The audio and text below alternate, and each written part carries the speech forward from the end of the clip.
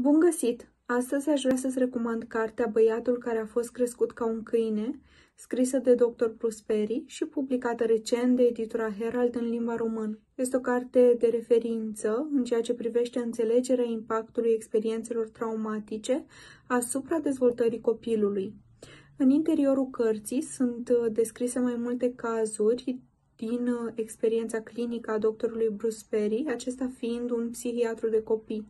Cazurile sunt tulburătoare, însă sunt foarte importante, în sensul că ne ajută să înțelegem nu numai impactul experiențelor traumatice, dar și modul în care putem aborda astfel de cazuri. Este o carte pe care o recomand nu numai persoanelor care lucrează cu copii, adolescenți, adulți, cât și publicului larg.